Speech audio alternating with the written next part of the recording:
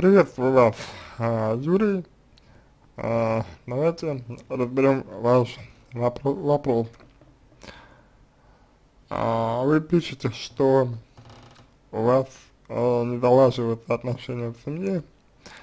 Правда, не пишете, что именно не ладится ваша семья, да, то есть, ну, из-за чего, собственно, проблема. То есть по поводу чего конфликт возникает, а, что их, так сказать, генерирует, что их, так сказать, снова и снова, снова и снова порождает. А, но я полагаю, что в любом абсолютно случае с этим нужно разобраться, нужно разобраться с причиной, почему вы снова и снова, э, почему у вас не налаживаются отношения, потому что э, мы говорим почти всегда о личной определенной ответственности, мы говорим об, о личной определенной ответственности вашей, то есть мы говорим о вашей ответственности за то, что происходит, мы не говорим об ответственности а, вашей жены. Вот, и мы говорим о вашем э, вкладе в отношения а, и ссоры тоже. А, здесь я рекомендовал бы разве что поисследовать а, в интернете психологическую игру «Скандал», а, возможно, перекидывание горячей картофелины, возможно, суд. То есть, если вы вот напишите «психологическая игра» и перечислите ну, напишите одно из перечисленных э, мною названий, то я полагаю, что вы, возможно, можете узнать э, э, какой-то из этих игр свои отношения с женой, точнее, структуру скандалов с ней. Вот, ну, это уже позволит вам более четко понимать, в чем заключается проблема. А, вот.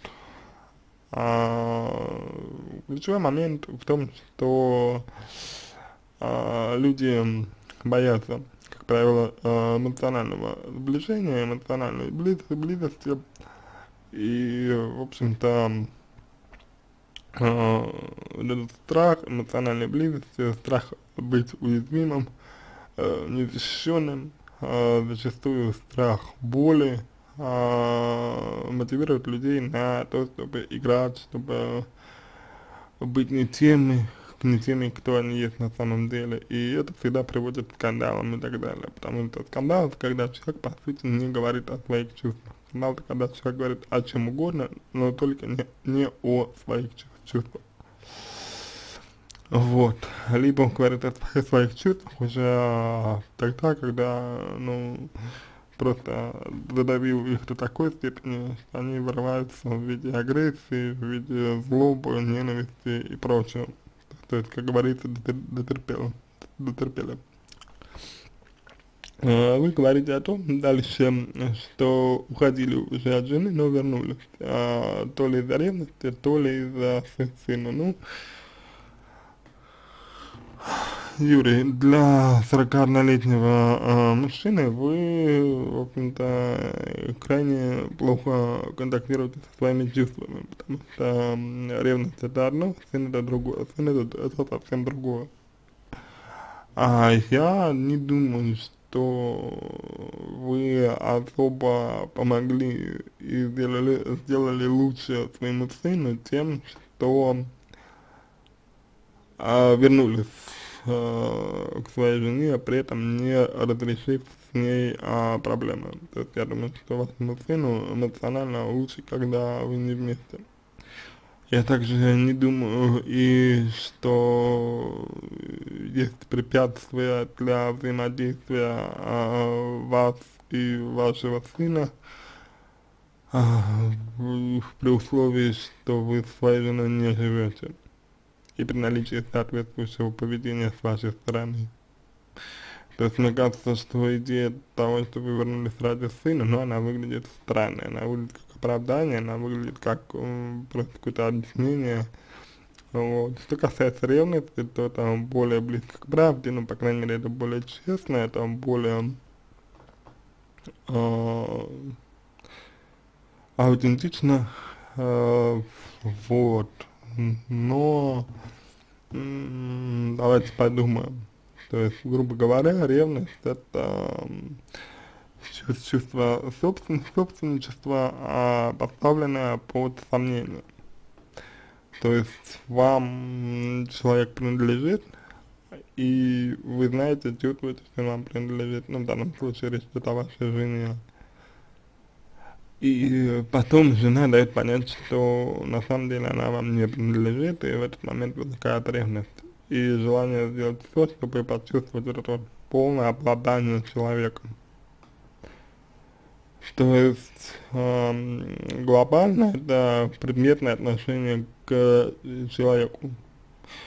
О любви, соответственно, здесь речи не идет, по крайней мере, в контексте данного чувства, данного стремления. Любовь может быть, но вот это в этом, э, так, в этой струе, она не проявляется. А, то здесь нужен отказ от э, предметного, предметного, вечного восприятие человека, потому что вы и к себе также относитесь, то есть с точки зрения полезности, с точки зрения того, что человек это пульса, это вещь, это предмет, которым можно обладать. Это, это не так. Таким отношением э, отрицается у себя и у другого наличие свободной воли и свободы выбора. А, следующее основание для ревности это неуверенность в себе страх а, и, соответственно, потребность в безопасности, что и реализуется через ревность, то есть через контроль, ограничение, подавление, прочее, прочее. Вот, здесь уже нужно а, работать с тем, что именно составляет ревность ваш, это может быть страх, страх одиночества, это может быть отсутствие реализованности, это может быть какое-то болезненное отношение к сексу, то есть, ну, чрезмерное значение придается э, сексу, это может быть желание доказать там свою исключительность, единственность и прочее. Вот. То есть, ну, поводы для возвращения в семью, э, что первый, что второй сомнительный, крайне, крайне, крайне сомнительный. А дальше идем, а, вы говорите, что полюбили другую женщину, но не знаете, как уйти, как сказать жене, а, собственно, в чем проблема? То есть, в чем проблема сказать жене, чего вы боитесь? А, знаете, скорее всего, вы боитесь перемен, всего, боитесь вот так вот, чисто, чисто вот, опыт, то, что происходит с вами на данный момент, вы боитесь просто э, новых каких-то вещей, э, вы боитесь э, смены привычного уклада жизни, вы боитесь сломать свои привычки, боитесь э, поступать по-другому, по э, боитесь нарушения каких-то ритуалов, состоявшихся ибо чтобы а, в других ситуациях поступать иначе, необходима такая, знаете, а, хорошая степень, степень доверия своим чувствам, этого у вас нет. Вот.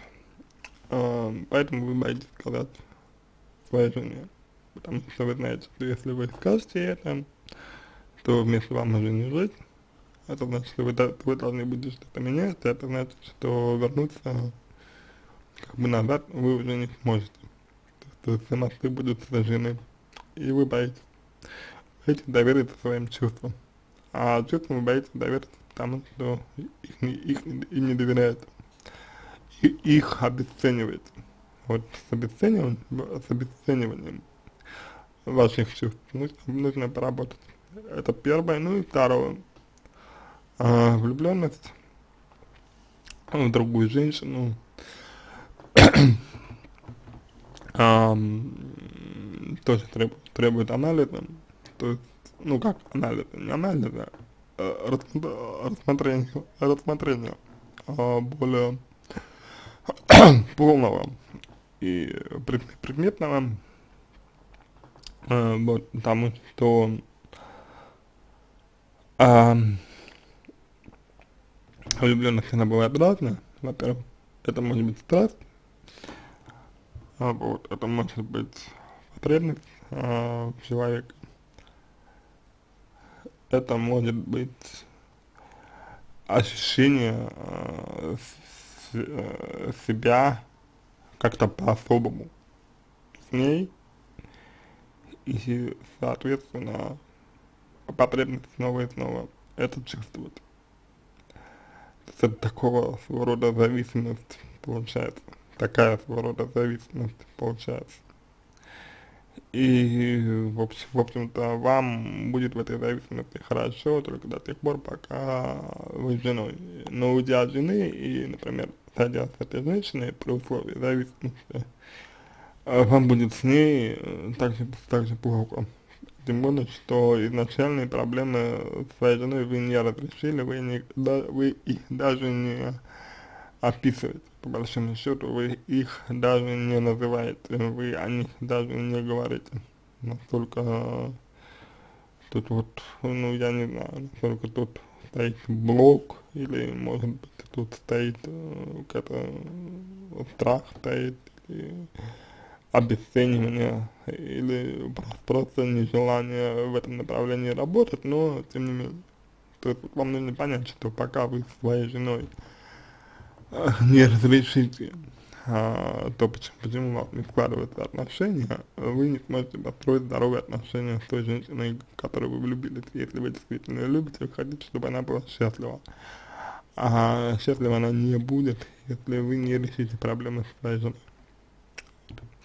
Ну и мужчины, которые не, сомневаются в своих чувствах, которые не доверяют, им тоже вряд ли способен э, женщину делать, э, ну, делать счастливой, объективно.